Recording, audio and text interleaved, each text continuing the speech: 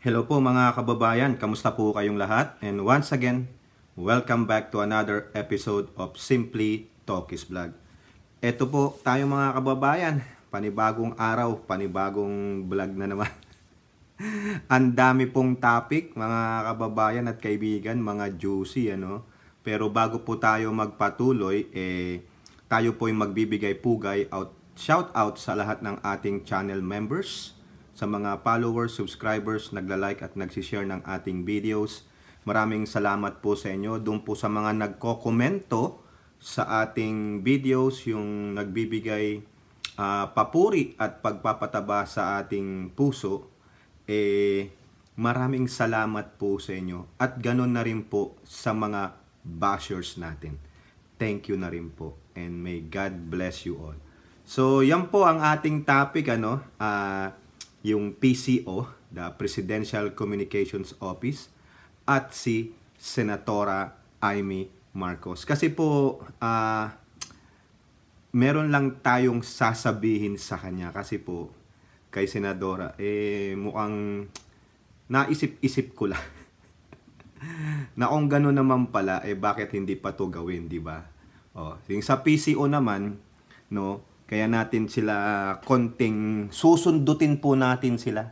Parang ipopoke lang natin sila para po eh, ano uh, kalampagin ng konti. Uh, baka naman matauhan po sila no? Dahil uh, ako po ay alam niyo naman sumusubaybay sa mga ilanding mga uh, admin ng mga vloggers and supporters No? At isa nga po diyan napan ko kanina si Mami Peng. Oh, advertising na to Mami Peng. Araw-araw ko pong pinanonood da, pinakikinggan ko ang kanyang mga opinion sa mga topic na dinidiscuss niya. No? So, eto nga po, kaya ng umaga dito, eh, nagising po ako, eh, yun, naririnig ko si Mami Peng. Ah, ang topic ni Mami Peng? Ayan, PCO. Which is a very good one na napakatapang mong i-call out ang PCO. No? Na talagang despite na alam mo na maaring mabatikos ka, eh talagang ano mo, yung binigay mo, yung nais mong iparating sa kanila. Which is, no, babak upang kita. Kasi matagal ko na rin pong napapansin yan sa PCO kung mapapansin nyo yung mga luma kong video, no, kinakalampag ko ang PCO. Yun nga lang, eh, hindi naman tayo kilala, no? Yung ating subscriber, eh, napakaliit pa. Sinasabihan nga tayo na wala ka namang bilang. Yan. Kapwa vloggers pa nagsasabi niyan sa akin. Wala kang bilang, talkies, wala. Hindi ka nagmamatter. Okay lang. Kasi sa atin naman, as long na I'm supporting, this current admin, eh, ala naman akong pakialam sa sasabihin ninyo. Saka iba-iba po tayo ng opinion at reaction. So, ngayon po, no, yung sa loobin ni Mami Peng, eh ganun din po yung nararamdaman ko. Kaya nga sabi ko sa inyo, babak upang ko to. Kakalampagin natin ang PCO. Kasi, no, kung maalala nyo, eh, naglabas sila ng isang programa to combat fake news. However, no, parang no, wala namang nangyayari to combat the fake news being propagated by the anti-admin administration or the anti-Marcos, no? Mamaya, papaliwanag natin sa inyo bakit kailangan uh, sawatain ito ng PCO. No? Okay, mag-background muna tayo, no? Uh, pagbigyan niyo na po ako no kung ano eh pasensya na kayo, ito ang ating matatapi kasi sobra na eh, no? Let me borrow the phrase, sobra na, tama na. 'Di ba? Sino 'yan? 'Di ba yung nagsabi nun? I think your time is up. Oh, 'di ba? I believe, eto, si Bakang Ina, at yung mga minions nila na patuloy na nagpapakalat ng fake news, kasinungalingan at patuloy na pambabalahura sa administrasyong ito ni Pangulong Bongbong Marcos at ng kanyang pamilya ay nag-uumapaw. Sumosobra na po. Kaya nga uh, hihiramin natin yung word na I think their time is up. Ginamit ko na lang po yung there kasi mala, marami po sila. No, pasensya naman po. So i-background natin itong isang programa ng Presidential Communication Office tungkol sa paglaban sa fake news. Okay? Noong ano po yan, na, uh, si Pangulong Bongbong Marcos na mismo ang nagsabi. Way back June 19 of 2023 sa article po ng GMA News. Fake news has no place in modern society. Mismo ang Pangulo na ang nakaobserba niyan. No? Kaya dito po sa kanyang talumpati sa 14th edition of International Conference of Information Commissioners sa Pasay City. Ang sabi lang ng Pangulo that the Freedom of Information Program has leveraged available technology and digital platforms to be of greater service to our people. Of course, we have we also have to highlight that the FOI program has greatly advanced the campaign against misinformation and disinformation in the country. A problem that we in the Philippines also suffer from as I guess all of us do around the world. Correct? Ang problema natin is yung kapwa Pilipino natin in and out of the country ang siyang gumagawa nitong disinformation. I will not say misinformation. Matagal ko nang dinidifferentiate dito sa ating vlog ang disinformation at misinformation. The disinformation is a horrible thing to do ng isang tao. Kasi yan ay may kasama ng paninirang puri. Yan po yan. No? So yan po. Dagdag natin ito ha. Like everyone here, we recognize as a matter of principle that fake news should have no place in modern society coming from the mouth of our President Marcos, from Ninong. Ha? Tandaan nyo yan. Sa kanya mismo yan. Sinabi niya yan. Okay? Now, punta tayo dito sa another news. Ang dami po nitong article nito. Ah, hindi na natin babasahin lahat. Papakita ko lang sa inyo yung timeline o yung mga headlines nila. Sa PIA yata ito, no? Uh, I think this is Philippine, Philippine Information Agency. Ha? Tingnan yung headline, August 14. Ito na yung launching ng Media Literacy, ano? Media Information and Literacy program ng PCO. Ha? 'Di ba sinabi niya nung June 29, fake news has no place in our society. O ayan na po. Inilaunch nila ang Media literacy, uh, information and literacy. Correct me if I'm wrong. PBBM admin to fight misinformation, disinformation through media literacy. O ayan, nandyan po. Sino po ang mga kasama dyan? Ha? Kasama dito ang PCO, ang CHED, ang DepEd, ang DSWD, and DILG apat po na ahensya ng pamalaan magsasama-sama to combat this misinformation and disinformation na pinapalaganap kontra sa ating gobyerno. Okay? So yan. No? For what? Through proper education, proper information. Sino ang magti-take lead dapat diyan? Ang Presidential Communications Office. Bakit, mga kababayan? Darating tayo diyan. No? Ito pa, the same thing sa Presidential Communications Office website. August 14, ito kasama lang to, no? PBBM urge Filipinos to always fight for the truth amid proliferation of fake news. Remember this, Filipinos like you and me to fight for the truth. Galing po yan sa bibig ng Pangulong Bongbong Marcos. So ano ang ginagawa namin na tulad ko na admin supporter? Ano ang ginagawa ng mga kapwa vloggers ko, no? no na-mention ko na si Mami Peng, no? At yung mga kasamahan niya, maging mga kaibigan niya na pro-admin. We are fighting for the truth by debunking the false narrative, the disinformation and misinformation narratives of the anti-government. Mostly, tatlong grupo na yan. Pero actually, iisa lang yan. Separate lang natin sila. The anti-pure, the anti-pure anti-Marcoses. The pure Dilawans and the, the Duterte supporter. Pero iisa ang connotation yan. Anti-Marcos. No? Na separate lang kasi itong Duterte kumampi sa dating dilaw yan. Mga dilaw yan. Original dilaw yan.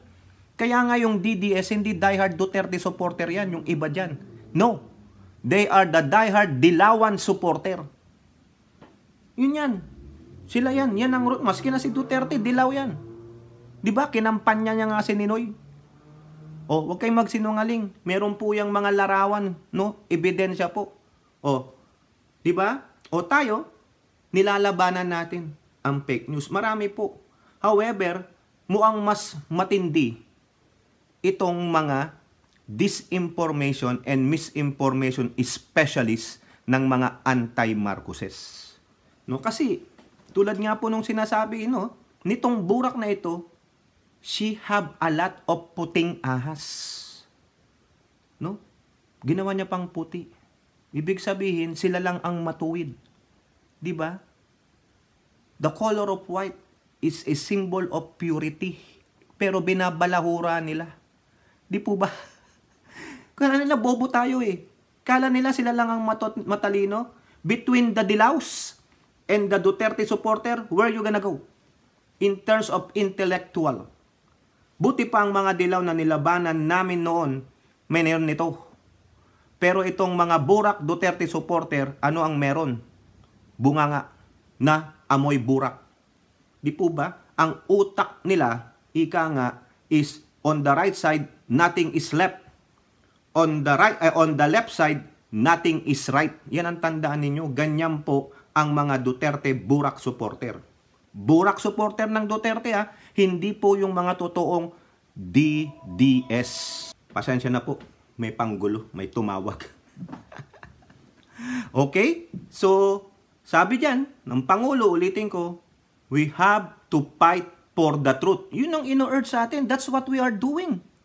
Di ba? Since the beginning, nung nangampanya ang Pangulo, actually, ang mga Marcos loyalists and supporters, yung totoong talagang sumusuporta sa Marcoses, they are always fighting for the truth para po sa Marcoses because they know the truth.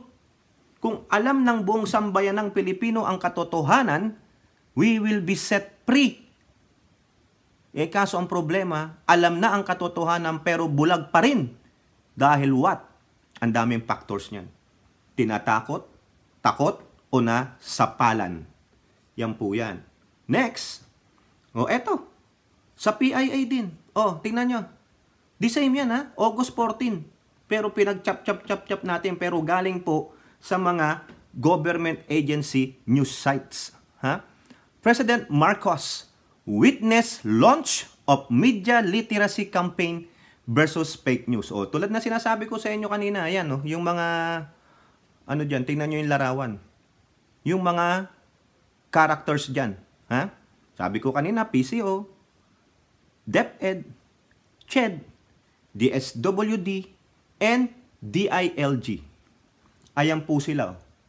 'Di ba? Yung mga lead actors with the president. Okay? So hindi lang diyan. Hindi lang yung limang ahensya na yan o apat na ahensya na yan ang nag ano diyan, nakibahagi, ha? Tignan nyo dito sa baba, pakita ko lang sa inyo, ha? Yung statement dito. Meanwhile, social media enterprises and their respective platforms are anticipated to engage in partnership with the government, offering resources and instruction to combat the spread of misleading information and false data. Some of these media giants, yung social media giants, include Google, na pag-aari niya ang YouTube, Meta, na siya ang may Facebook, Instagram, and Trends, TikTok, and X, yung dating Twitter. Hindi ko lang po makita yung isang article na nagsalita ang mga representative nitong mga social media na ito that they will help this government to combat na, the spread of misinformation and disinformation. Social media giants. Na? Tandaan nyo yan ha. Kung pakailan yan. August 14. August 14, September, October, November, December, January. Five months already or if you can include the August, that is six months. Okay? Half a year na yan. Now, punta tayo sa September 18, 2023 when the PCO is in the Senate for their budget hearing. Ano ang sabi diyan sa PCO website? PCO to prioritize prioritize combating fake news, disseminating PBM's development agenda. Okay, so yung, yung po yung sabi nila. Ha? Ito, sabi ni PCO, Secretary Sheloy Garapil, attorney po yan. Number one priority, syempre, communication of the presidents, yung development agenda. But, remember the but, huh? underlying that is the fight against fake news. Sinabi niya po yan sa Senado sa budget hearing. Kaya nga po ngayon taon ay nag-launch po kami ng aming media and information literacy. Ayun pala yun. Oh, oh, I'm correcting myself. Yung MIL, yung media and information literacy that they, the President witnessed on August 14. Di ba? campaign para po matugunan itong problema natin sa fake news, which I believe I also discussed last year. Okay, ang ganda ng sinabi niya. Now, do you think nagagampanan ng PCO ito? Ha? Ang tagal na natin isinisigaw dito. Ang tagal na isinisigaw ng mga kapwa vloggers natin na pro-admin na kung maaari, you fight the disinformation campaign of this woman, no? Hindi lang personal ang laban niya kay FL Lisa at sa ating presidente, pati na sa gobyerno. Spreading lies, spreading fake news, spreading disinformation, or whatever synonyms of fake news you want to convey. It's still fake news. Di po ba? Asaan na? Nasaan na yung pinagmamalaki nitong si Sheloy Garapil? At ang sinasabi pa nitong si Burak, ha, na meron daw siyang puting ahas sa Malacanang. Ang laki ng Malacanang. Pero isipin nyo, saan nang gagaling yung information na yan? Is it coming from the PCO? Di ba? PCO, Communications. Ito lang yan, mga kababayan. Lahat po dyan na nagtatrabaho sa loob ng PCO, eh parang mga lobbyist yan. You know what lobbyist is? Bibigay ng portfolio yan. Pagagandahin nila yan. Ganito, ganito. Hanggang sa makuha sila diyan. Siyempre, mga career civil service yan. At meron sa mga yan na iplanta may naiplanta dyan. Para tumiktik at maglabas ng mga juicy information. Ayan ang dapat hanapin, linisin ni Sheloy Garapil sa hanay niya dahil siya ang secretary. Di po ba? You have the power to stop it. You have the power to prevent the leakage of a sensitive information, of a very juicy information sa mga katulad nito. Ang dami pong lumalabas na impormasyon na galing di umano sa Malacanang na binibigay sa kanya ng puting ahas niya. Ikaw, Sheloy Garapil, o attorney Shelo Garapil, no? para kang wapakels eh. Kami, todo depensa kami sa administrasyong ito. Ang sabi niya, number one priority niya siyempre ay ang communication ng presidente, yung pang mga development agenda, programa ng presidente. Yes, given that, tinatrabaho mo yun, nakikita ko yan sa PCO Facebook page. Na ang ganda ng dis- uh, dissemination information nyo sa lahat ng ginagawa ng presidente o ng mga departamento niya. However, ano naman ang ginagawa nyo sa pagpapakalat ng mga ito at nito at ng minions niya sa fake news, sa patuloy na paninira sa first family. Huwag niyong sabihin na okay lang yung paninira sa first family, eh gunggong pala kayo eh. The first family is part of the government. It's the president itself that being maligned and viciously attacked without proper information, without proper evidence. So anong tawag mo doon? They cannot even show an evidence of the president, no? Yung tumitira ng cocaine or shabu. Sasambitin ko na dito. Di po ba? Kasi ang pulburon, pwede nilang ipilosopo yan. Ba't sinabi ba namin cocaine? Eh, pulburon, yung pulburon na kinakain natin. Favorite na, na ano, dessert ng Pinoy. Hindi. What have you done? To protect the president, the image of the president and the first lady. Sinasabihang smuggler si first lady nito. What have you done? Did you combat the fake news? The narrative of this that the first lady who is the wife of the president whom you have you are serving right now. Wala, tamilmil ka. Isa ka ding tamilmil. Pero anong sabi mo? But But underlying that is the fight against fake news. So therefore, para sa akin mga kababayan, marami magagalit sa akin ito, lalo na ang supporter ng admin. No? Magalit kayo kung magalit kayo. Sabi ko naman sa inyo, raratratin natin ang departamento o yung naninilbihan sa gobyernong ito na hindi ginagawa ng tama ang trabaho nila.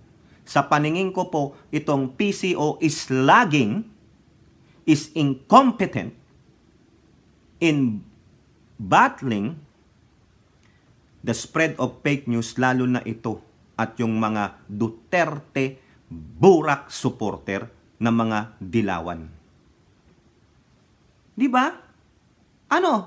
Nagpupulboron, nagchuchongki, di ba? Smuggler, kasalanan pati patatas, repolyo, Di ba fake news yan? Di ba? O ngayon, kung hindi fake news ito, ibig sabihin, Sheloy Garapil, may katotohanan yon Yung sinasabi nito? Kasi wala man lang kayong rebuttal. Tamilmil kayo tulad nito. Yung bang ibig sabihin, ini-enabling nyo? Enabler kayo ng pagpapakalat ng kasinungalingan nito na lahat ng lumalabas na sa mga meeting ninyo ay dumarating sa kanya dahil merong naiplantang puting ahas dyan which you cannot even identify. Kaya nga eh, yung isang vlogger, si Mami Peng, nananawagan sila o yung mga viewers niya. Nakikinig lang ako kanina. That the PCO needs a revamp. No? Biruin nyo, mga vloggers na admin supporter, you cannot even support? Eh mga freaking idiots pala kayo. Ikaw, Attorney Sheloy Garapil, how competent you are being a communication secretary. Kung ito, hindi mo maribat, bakit mas matalino ba siya kaysa sa'yo? O meron siyang alam sa'yo para gamitin pang blackmail? Di ba? I guess it's about time. Ngayon, kung pinipigilan ka, Nino, ni Ninang Lisa, what's her authority on your position? Sino ang pinagsisilbihan mo? Sino ang boss mo? Now, if you have the guts, no? Kung talagang kaya mong labanan ang fake news ng mga ito, no? Itong mga to, yung mga minions niya siya, is tell the world. Walang katotohanan ang sinasabi nila? Nasaan yung sinasabi niyong fight against fake news? Nasaan yung panawagan ng Pangulo that he urging the Filipino people to always fight for the truth? eh yung ikaw mismo na isang communication secretary, you cannot even fight for the truth. Hindi mo masawata na sabihin hindi smuggler si Lisa. Hindi chumochongki ng pulburon si PBBM. Wala. Wala. Why? Bakit natin sinasabi to? Because, na? Sabi niyo, hindi mo related sa gobyerno, pang personal. Eh, mga gunggong pala kayo eh. Nasa gobyerno ang Pangulo. Sinisira nito ang imahe ng Pangulo. Bakit hindi makontra ng PCO na sinisira nito ang imahe ng First Lady? So ibig sabihin, hahayaan na lang natin yung naratiba kasi ang naratiba kung inulit ng inulit ng inulit ng inulit, nagiging katotohanan na sa karamihan. Yun na ang tatanggapin ng karamihan. Di po ba? So ano na, Cheloy Garapil? Nasaan na yung pinagyayabang mo na but, huh? But, the underlying that is the fight against fake news.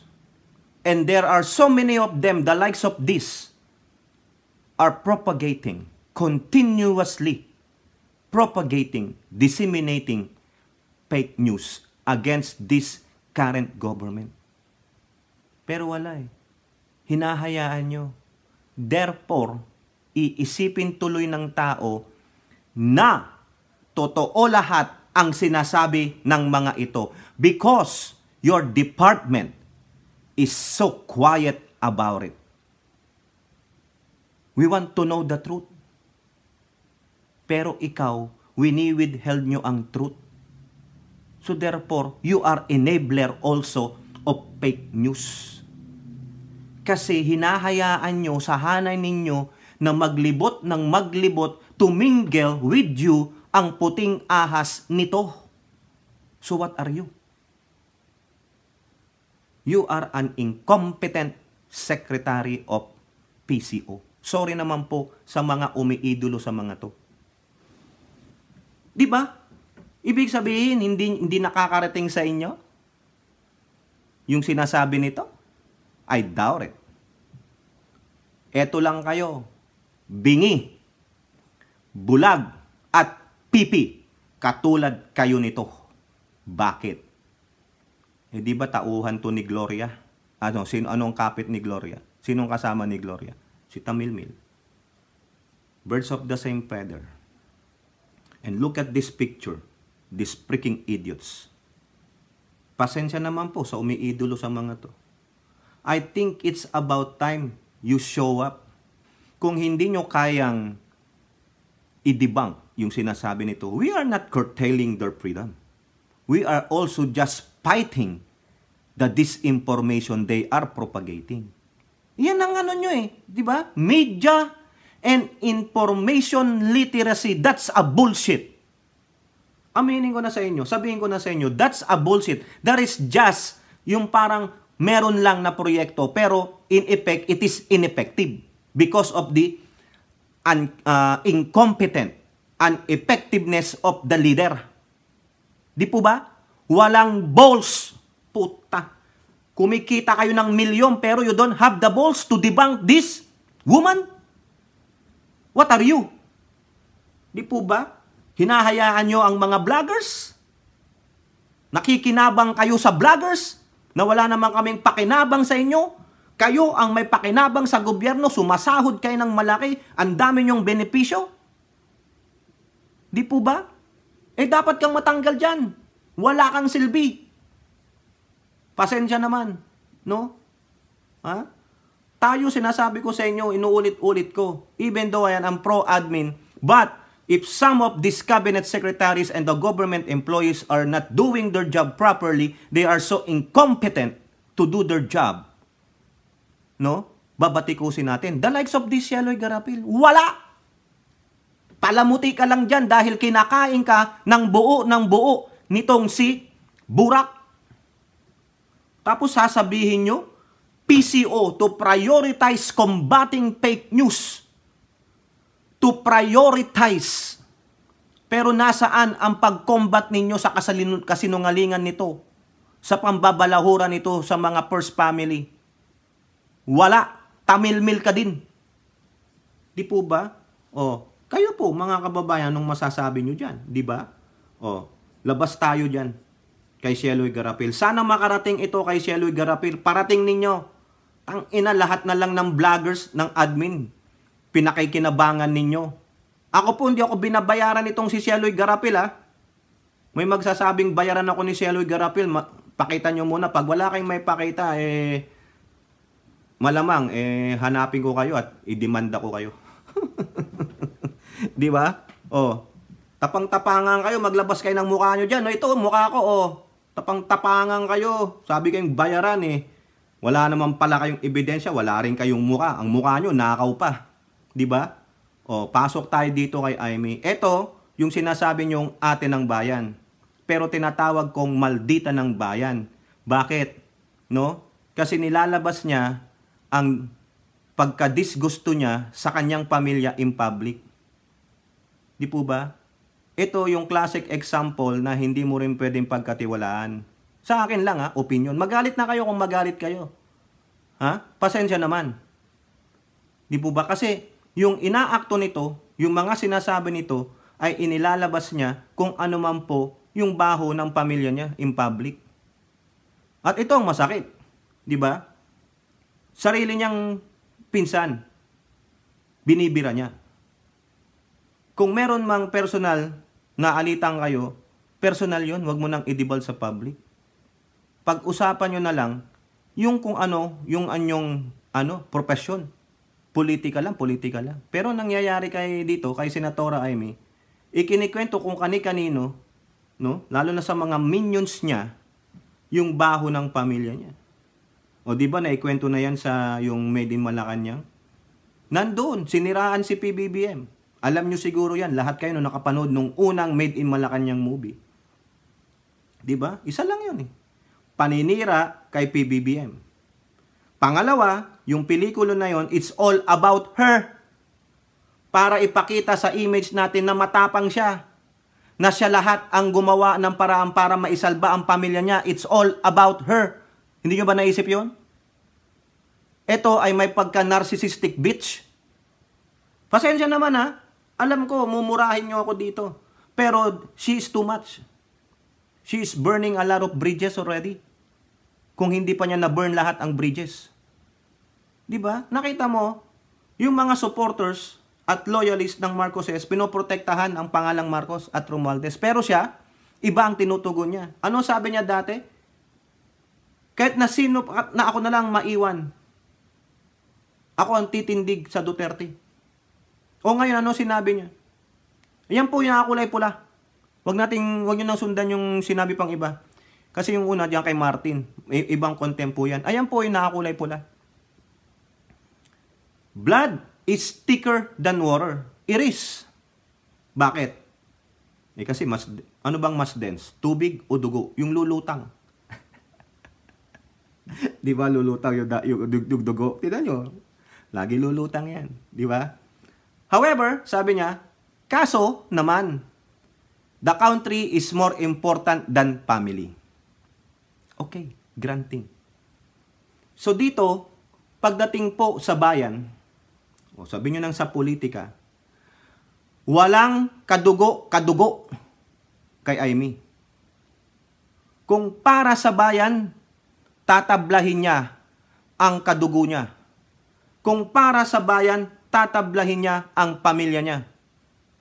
Tama mali sa pagkakaintindi ko diyan mga kababayan.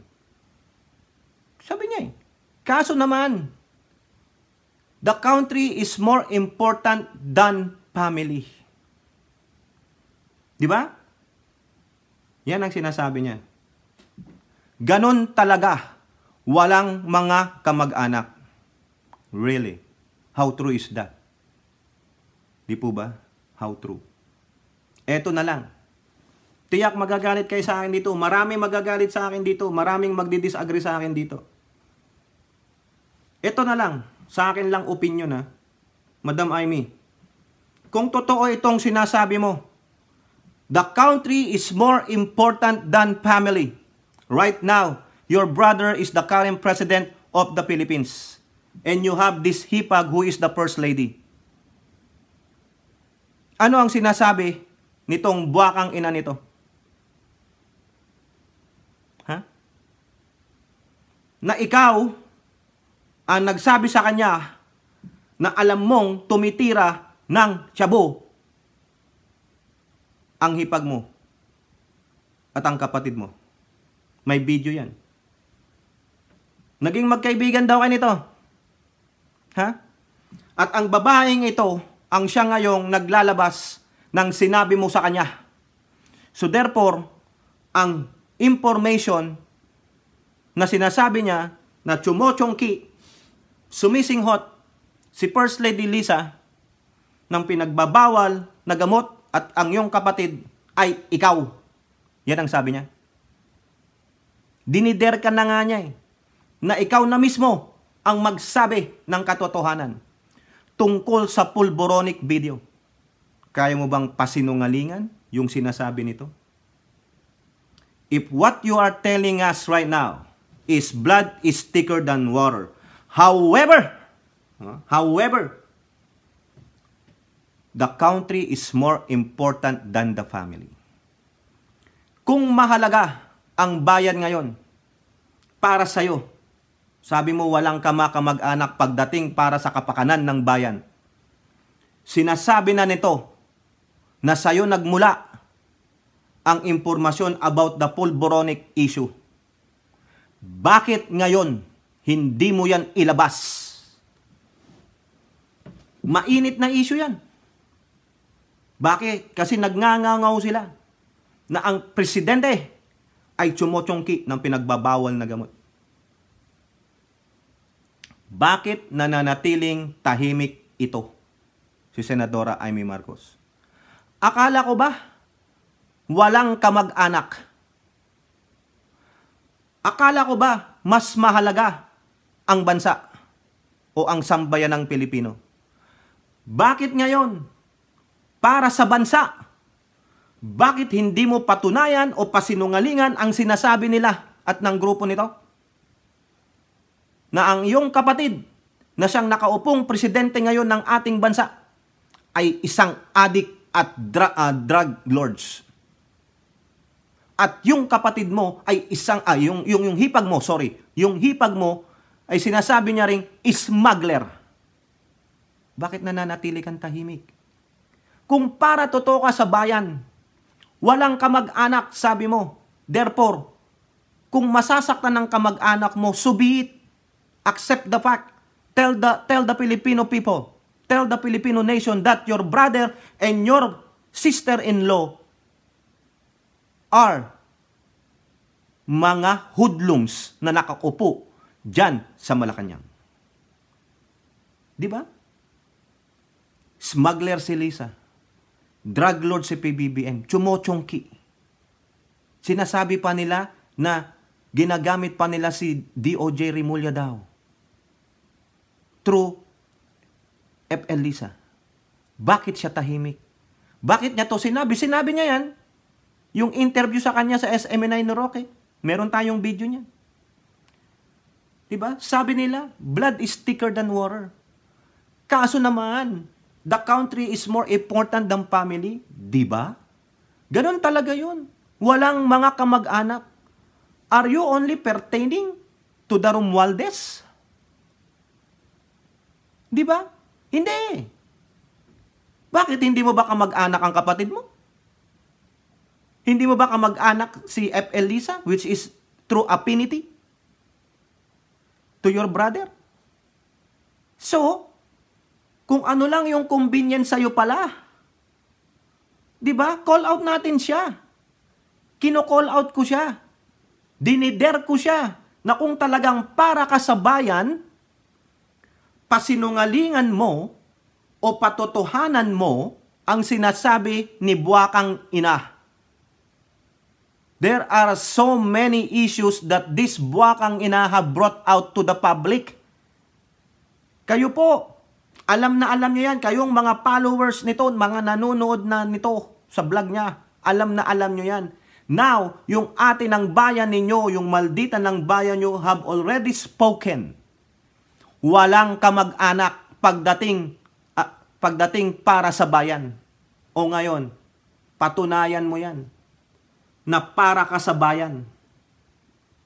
Kaya mo bang ilabas ang katotohanan? Na sinabi mo dito sa buwakang ina nito na ikaw ang nagsabi sa kanya na, yun nga, chumochongki ang mag-asawa ng pinagbabawal na gamot. Kaya nga malakas ang loob nilang sabihin sa madlang people eh. Kasi you, uh, you, o oh, isa ka sa mga source nila. Di ba mga kababayan? Pasensya naman po sa mga umiidolo dito sa senator na ito. Yun naman pala eh. Para matapos na ito lahat. Di ba? Para tapos na kami sa pagdidepensa dito. Na? Patotohanan mo to. Senatora Amy, since sinabi mo para sa, sa bayan, walang kamag-anak. O mong sabihin hindi mo kamag-anak si PBBM. Dugong-dugo mo yan. O baka nga naman di mo sila kamag-anak. Nagtatanong lang po. Di ba? Tama, mali. Oh, pasensya naman po, mga kababayan. Di ba? She have the audacity to utter this statement. Blood is thicker than water. Kaso naman, the country is more important than family. Di ba? Ganon talaga. Walang mga kamag-anak. Now, do you have the same audacity na tell the truth or belied the statement of this buwakang ina. Kung matapang ka talaga na sinasabi mong walang kamag-anak kamag-anak pagdating para sa bayan, for the benefit of the Filipino people. Tell the truth. Pero sa palagay ko mga kababayan, sabi nila, baka third quarter na daw masisipa si Pangulong BBM. Maybe doon na niya ilalabas ang katotohanan. Kasi it's for the country. She have to tell the truth. Eh sa akin, tanga ka. Ibig pala sabihin, inantay mo pa ang pagkakataong ito na maging presidente ang Pangulong Bongbong Marcos para lalo lang siyang ipahiya? Ipahiya ang pangalang Marcos, ipahiya ang pangalang Romualdez na siyang hawak-hawak mo ngayon ipahiya ang pamilya mo sa buong sanglibutan, hindi lang sa nasyong Pilipino, kundi to the whole world. Na ang kapatid mo ay isang unscrupulous person. Kasama niya ang kanyang asawa. Bakit mo pa inantay siyang maging presidente? Dapat sinabi mo na yan sa kapatid mo at sa hipag mo nung nag-declare ng candidacy for presidency si Pangulong BBM. Sabihin mo, ading wag na. Mapapahiya tayo. Makakalkal yung pas mo at yung current mo. Makakalkal pati buhay ng pamilya mo. Yung kabalbalan ng asawa mo. Baka lalabas na sasabing smuggler ang pamilya ni Lisa. Bakit hindi mo inadvise yan kung para ka sa bayan at hindi sa kamag-anak. Hindi na sana lumala ng ganito. Di ba? Pero ano? Hinayaan mo. So therefore, pinabayaan mo ang kamag-anak mo. Hindi ka para sa bayan. It is just for yourself just for you alone. You are a, also a narcissistic bitch. Di po ba? Tingnan nyo na lang yung moving made in Malacanang. It's all about her. Di po ba? How arrogant she is. How biat she is. Sorry naman. Di ba? O ngayon, may katotohanan ba ang sinasabi nito? Pero magsisilbi ka namang tamilmil. So therefore, itong sinabi mong para ka sa bayan, kung kapakanan ng bayan ang nakasalalay dito, why not tell the truth? Whether pabulaanan mo ito o patotohanan mo ang sinasabi niya. Ito. Di po ba? Tama, mali. Masakit yan. Masakit marinig to. Sa taong pinipitagan ninyo. Tama, mali. Pagdating sa kapakanan ng bansa, walang kamag-anak. Tatablahin ka nito. Hindi ka proprotektahan nito pagdating sa bansa. At tatablahin ka rin nito pagdating sa Duterte. Ang kamag-anak niya is the least among her priority. Is the least among to be helped in times of crisis. Isasalba niya muna ang sarili niya. Ganito yan. So therefore, ganyan din dapat. Ha, Senatora Amy, sa mga anak mo. No? Yung anak mo, governor sa Ilocos. So therefore, ganun din. Ganun din ba ang panuntunan mo? Walang kamag-anak pagdating sa kapakanan ng bansa? Nagtatanong lang po. O. Kayo po, mga kababayan, ano pong inyong masasabi? No? Sa PCO at kay Amy Marcos. Comment down below and don't forget to like and share. Hope to see you on our next videos. Bye-bye. God bless.